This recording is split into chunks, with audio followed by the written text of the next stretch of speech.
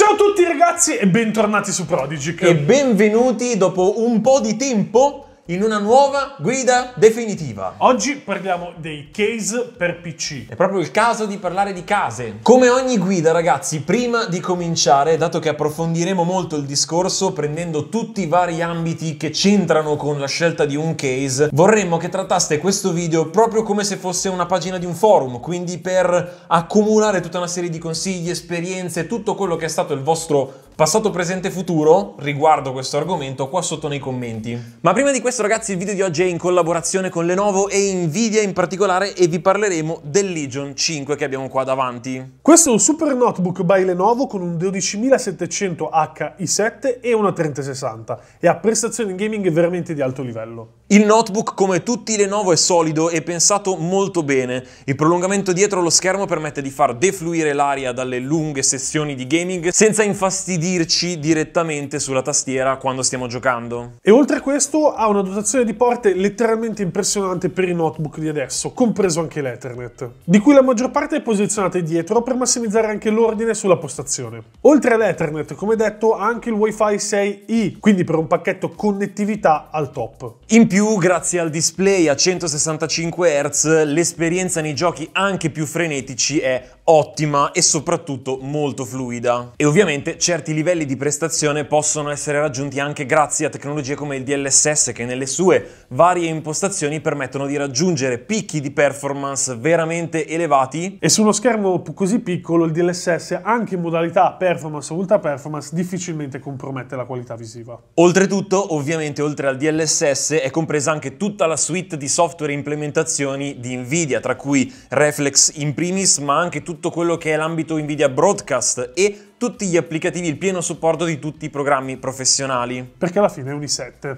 E questo rende il Legion 5 veramente un notebook perfetto sia per giocare che per lavorare. Ovviamente se volete tutte le informazioni aggiuntive su questo portatile le trovate tutte in testa alla descrizione. Ma torniamo a noi. Il case ragazzi è qualcosa che deve andare a obiettivi, nel senso che è un prodotto che deve soddisfare almeno o la maggior parte di queste 5 eh, o quelle che saranno punti che tratteremo e deve soddisfarli il meglio possibile. Ovviamente, detto questo, chiaramente poi andiamo a spezzettare i vari punti, il case è estremamente personale, come tante altre componenti che abbiamo trattato come nel caso di mouse e tastiera, ma molto di più di tutte le altre componenti per PC, perché è probabilmente la cosa che è più estetica tra tutto. Oltretutto devi andare in base al PC che volete fare e allo spazio che avete in casa, ovviamente ovviamente. Perché parliamo di obiettivi? Perché di fatto un case deve anzitutto ovviamente raggiungere un livello, quello che volete voi dal vostro computer,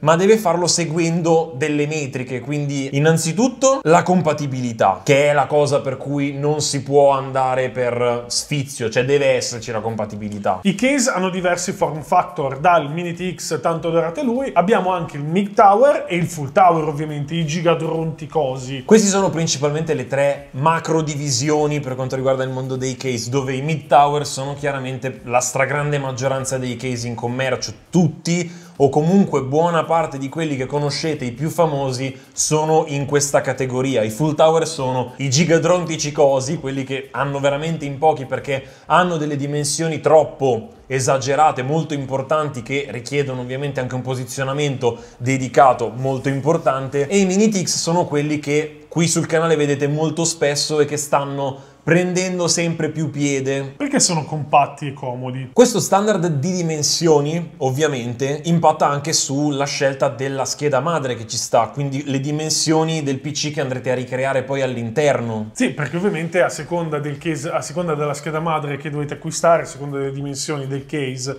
appunto dovete acquistare o l'una o l'altra in funzione a farcela entrare ovviamente. Mm. Questo vale anche per i dissipatori del processore perché se comprate un dissipatore ad aria dovete controllare che le misure del vostro della torre o del doppiatore del dissipatore d'aria sia compatibile con lo spazio che c'è nel case senza contare anche gli all-in-one. Che ovviamente, esattamente come le torri dei dissipatori ad aria, hanno bisogno di un determinato quantitativo di spazio per posizionare il radiatore e ventole, che sia frontale, che sia superiore, che sia un 120 posteriore. In ogni caso ci deve essere una predisposizione che vi permetta di installare anche radiatori. Per questo su tutte le varie specifiche tecniche di tutte le pagine ufficiali dei case che potreste voler comprare, ci sono riportate tutte queste specifiche in dimensioni. Infatti noi spesso consigliamo come miglior all-in-one l'Arctic, che è un all-in-one qualità-prezzo imbattibile però noi non sappiamo 20, 30, 40, 50 mila persone che ci guardano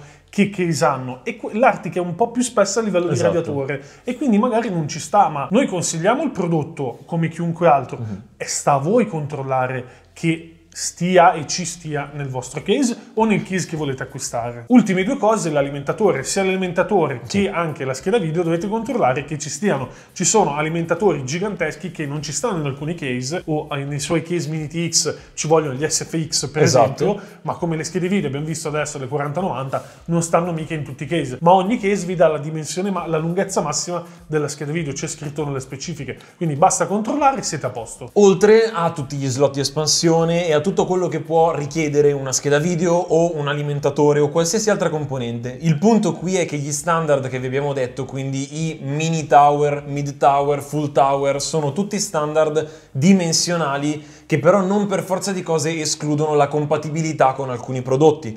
Ad esempio ci sono dei mini TX che di fatto possono includere un alimentatore standard ATX o ad esempio sempre rimanendo sui mini TX ci sono anche case che possono includere schede madri più grandi di una ITX rimanendo comunque nello standard dimensionale dei mini tower. Quindi per questo motivo questa, questo lato compatibilità è riportato in tutte le specifiche e dovete assolutamente quando scegliete un case perché vi piace esteticamente, perché volete posizionarlo in un determinato modo all'interno del del vostro setup, dovete controllare punto per punto tutte queste specifiche. Il secondo punto, ragazzi, è il più importante di questa lista, che è l'airflow. Quando comprate un case non comprate solo qualcosa che alloggia i vostri componenti, o meglio, lo è ma deve essere una ottima permanenza, come se fosse una bella stanza d'hotel. E non volete che 50 gradi senza aria condizionata, uguale i vostri componenti vogliono stare al fresco. Esatto, e non in galera, non per forza dico.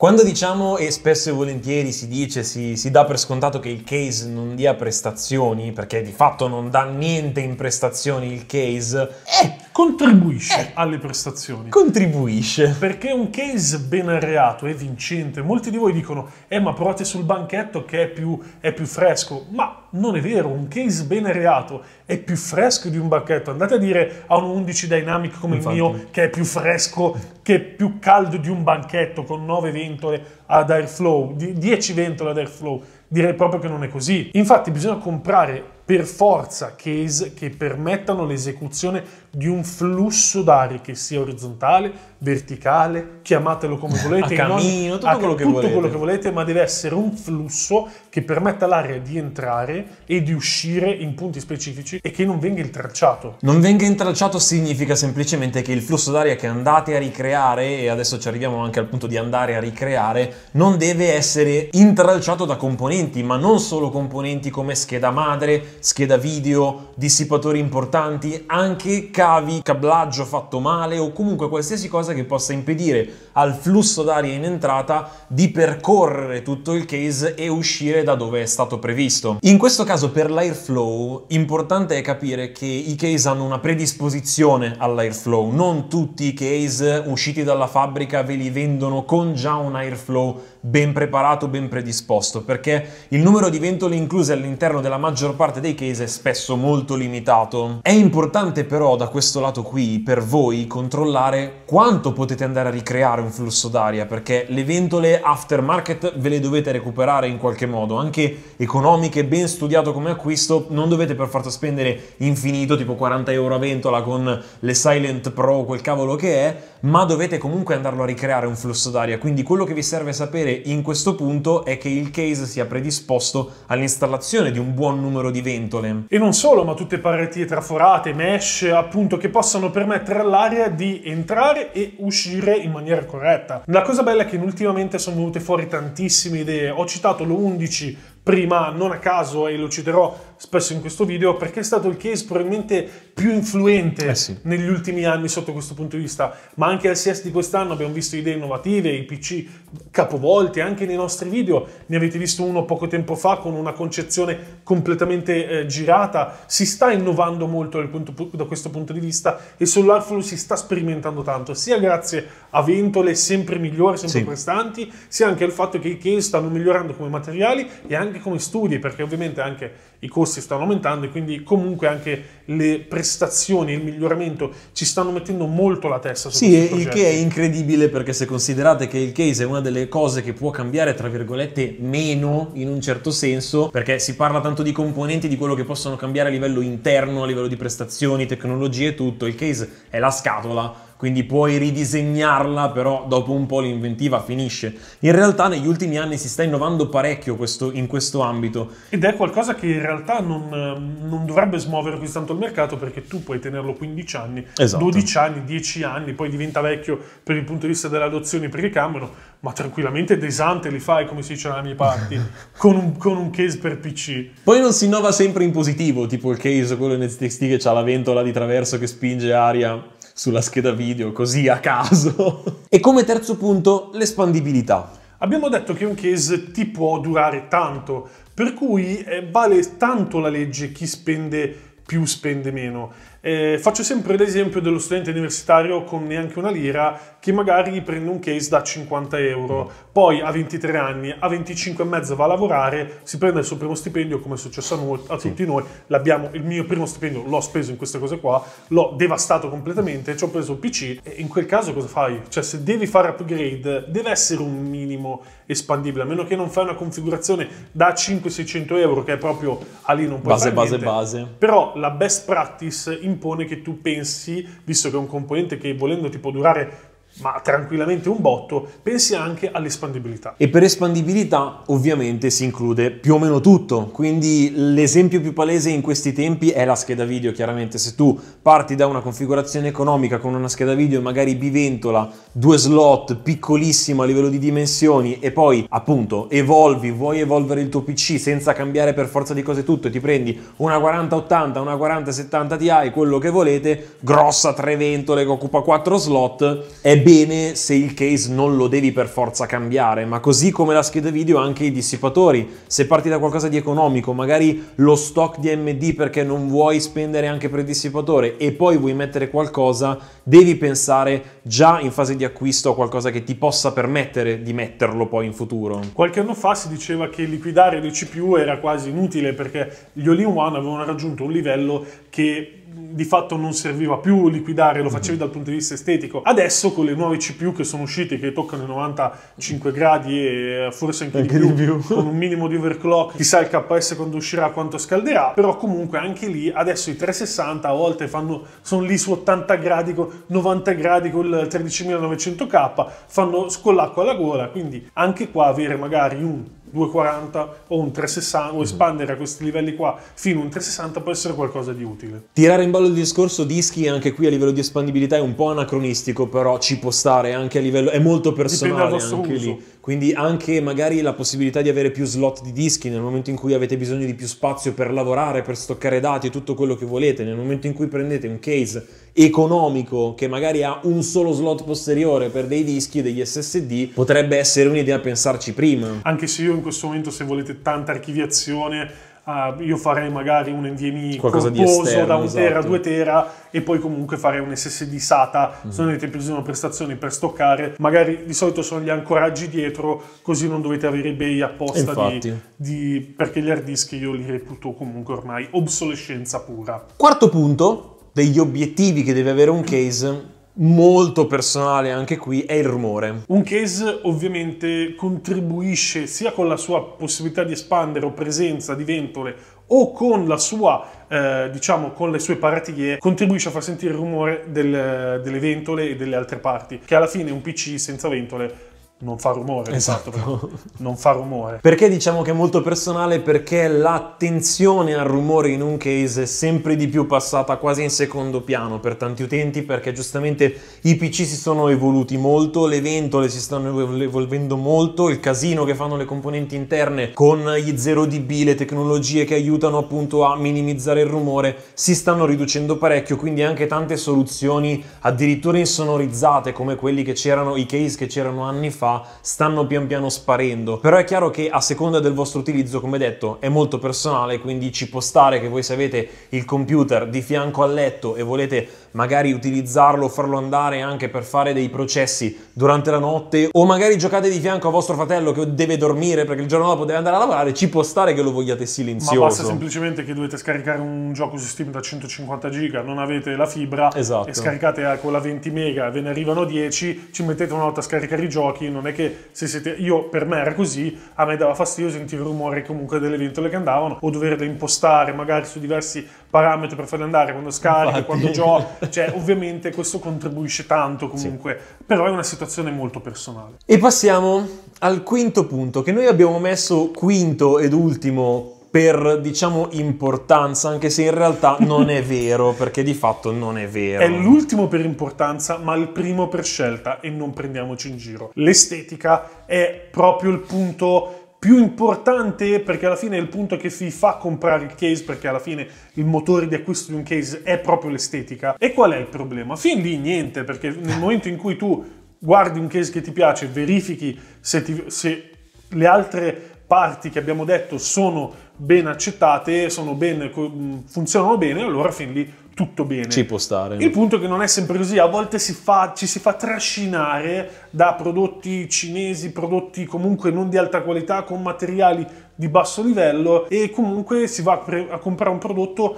eh, magari sovrapprezzato, non si va- che magari ha meno performance, meno ventole ed è un peccato. L'estetica trae molto in inganno perché non nascondiamocelo, ci sono tanti prodotti che hanno un'estetica super accattivante, super futuristica, super piena di LED e magari hanno una qualità costruttiva davvero bassa. Quindi da quel punto di vista di merda che fanno un O- rumore atomico. Esattamente, quindi oltre al case avete il problema di dover magari riadattare tutto il discorso Airflow sostituendo tutte le ventole preinstallate. Ci sono delle cose che ovviamente per quanto riguarda l'estetica traggono molto in inganno, o quindi semplicemente ha un airflow di base, quindi di base ha una predisposizione in passaggio dell'aria studiato male, quindi non performante. O magari addirittura non ce l'ha, o magari addirittura non ce l'ha. È bellissimo, però è tappato. perché è minimale. O magari è pieno di vetro, ha tante paratie in vetro, ma se tante paratie in vetro non danno sfogo all'aria, capite bene che il PC soffoca in qualche modo. Per cui bisogna stare molto attenti. Questa è una delle. è più che un punto, è un monito, perché comunque è giusto, perché anche noi ci facciamo guidare dall'estetica ed è normale che quando spendi comunque tanti soldi l'occhio un po' vuole, vuole la sua parte, però non deve offuscare quelli che sono gli altri punti. Mi raccomando, sempre prestare prima l'airflow. Che, che sia un PC fatto bene perché appunto e lo ritiriamo in ballo lo 11 ha dimostrato di poter mettere vetro una marea di RGB e airflow tutte nello stesso punto ed è Esatto. forse il caso più emblematico non è che prima non c'era eh. No, infatti, infatti. perché prima c'era però così tanto vetro poi sono usciti altri modelli che vanno addirittura a migliorare non migliorare oggettivamente però l'Y60 di height facciamo ottimizzare il concetto dello mette 11. ancora più vetro, forse ancora anche più bello, per me è anche più bello e comunque ha un ottimo airflow, quindi comunque poi si- vedete come si stanno evolvendo Mm. le cose ed è molto positivo, però l'estetica, giusto, va bene, guardiamolo, però guardiamo anche ovviamente l'airflow. E ora c'è il punto scuro. il punto nascosto. Punto più nascosto, ma anche ovviamente il più importante dei cinque obiettivi che vi abbiamo trattato. Per ora, ovviamente, l'unico davvero fondamentale è quello delle compatibilità, perché altrimenti non ci montate un PC all'interno. Ma un case può essere benissimo bello esteticamente, una merda in airflow, o viceversa, un portento in airflow è bruttissimo da vedere. Quindi ci può stare che i cinque obiettivi non siano tutti al top ma tutto quanto messo insieme deve restituire chiaramente una buona qualità prezzo. Il punto è che sui case il case è il prodotto che ha più varianti nel PC gaming. Quindi no- non esiste che troviate recensioni per ogni tipo di prodotto. Ogni casa ma anche arriva fino a 50 variabili diversi. Quindi trovare recensioni o pretendere che scriverci sotto perché non parlate di questo case qua com'è, ma magari non l'abbiamo mai visto, È manco lo sappiamo che, che esiste perché anche noi spesso navigando, andando in giro scopriamo che roba che manco pensavamo fosse uscita, di, magari di player minori, player più grossi li conosciamo,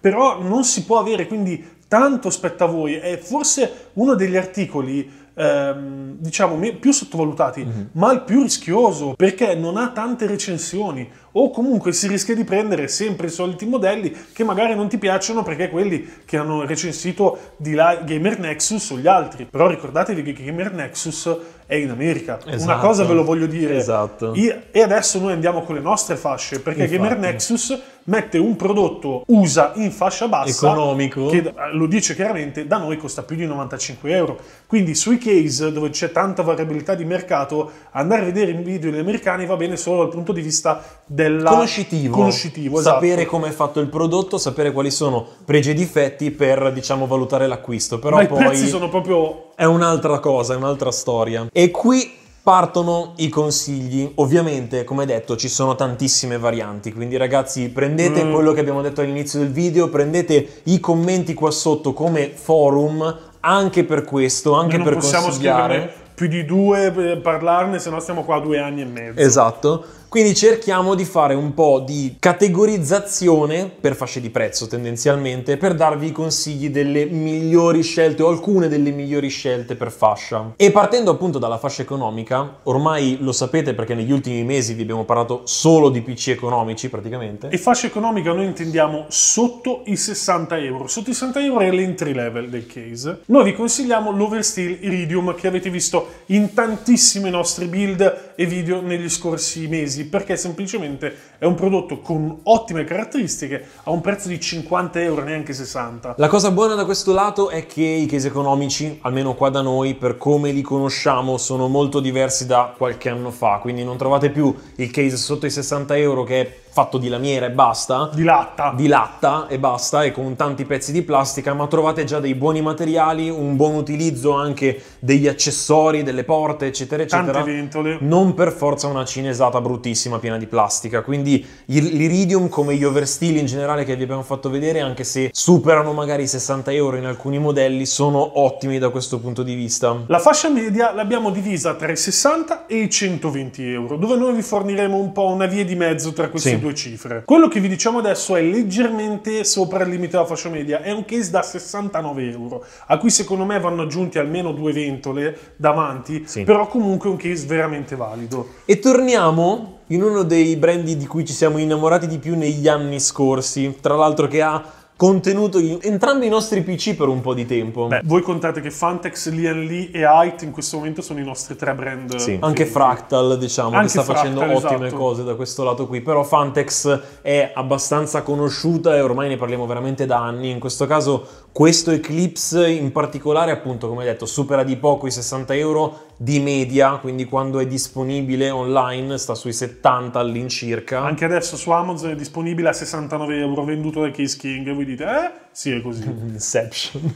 e qui siamo molto sul semplice, cioè non, c'è, non ci sono troppi fronzoli su questo modello in particolare, una bella parationa mesh frontale, c'è una ventola preinstallata, c'è la predisposizione per un po' tutte le compatibilità di scheda video, scheda madre, dissipatori, anche potete mettervi dei bei radiatori, c'è un po' di tutto. Un buon case. Pecca solo un pochettino di estetica perché Di personalità, non di estetica. è molto minimal. Cosa che non manca a questo case che è un po' al limite della fascia media, quasi vicino alla fascia alta. Sì, infatti. E parliamo di Fractal con il suo Pop Air che ha avuto un discreto successo l'anno scorso, è cicciato fuori così in maniera preponderante. Perché ha un bel design, un bel airflow, appunto i punti che abbiamo citato in questo video vengono soddisfatti in maniera importante anche il prezzo per avere tutte queste, le ventole, l'RGB, il design e i materiali buoni vengono soddisfatti. Fractal, come detto, è uno dei brand che sta facendo belle cose. E la cosa buona è che un mid tower sì, ma riesce ad essere comunque un po' più compatto della media. Andiamo ora in fascia alta. In fascia alta abbiamo identificato quei case che vanno dai 120 ai 200 euro. E l'identificativo proprio per eccellenza di questa fascia è un case che abbiamo citato già più volte. L'11 Dynamic Evo, che è il mio case, quello che avete visto,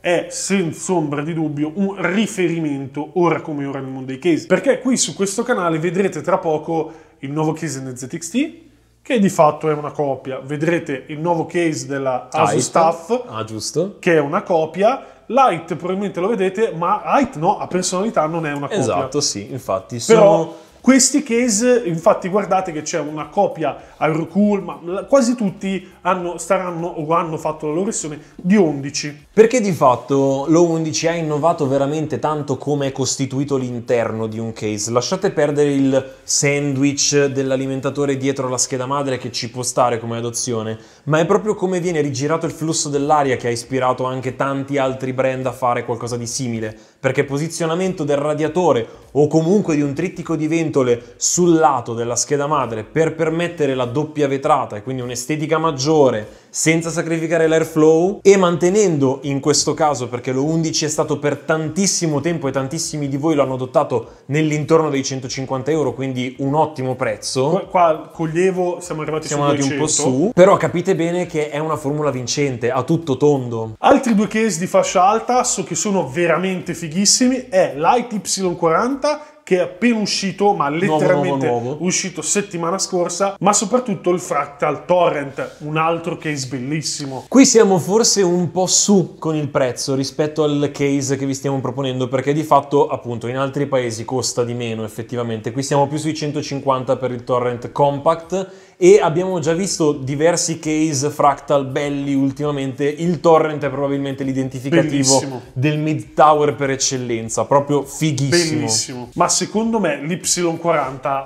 venderà come il pane. Sì. Se soprattutto Appena si assesta, adesso è Esatto. appena uscito, costa un po' di più, ma appena si assesta sui 150 euro, proprio come il pane. Al momento c'è solo su Alternate, c'è su Draco, e Draco. e- esatto, quindi c'è ancora poca disponibilità in generale, anche perché tra l'altro sì, ci sono le pagine prodotto, ma non è ancora disponibilissimo, quindi ce ne sono pochi, però è veramente bello come concetto, mantiene la formula O11 passatemelo, anche se in formato più compatto. In questo caso però con la- il nascondi alimentatore sotto e non dietro, però in generale è proprio fighissimo, cioè la, la predisposizione per la verticale con il riser figo, cioè è proprio bello. Sopra i 200 euro è la Fashion Enthusiast e qua se uno ha più di 200 euro da spendere per il case comprate un po' il cacchio che volete, non siamo noi che vi dobbiamo dare consigli. Mm. Forse quello che prenderei in questo momento è Light Y60 Sì. perché a me piace particolarmente, però se volete full tower o robe strane, open, eh,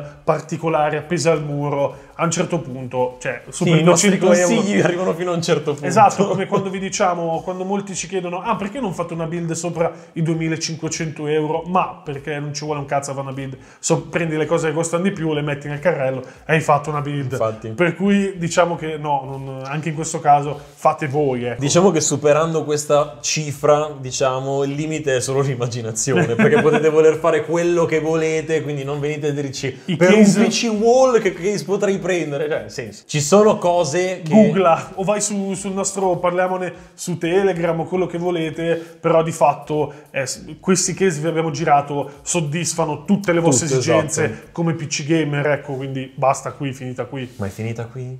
No.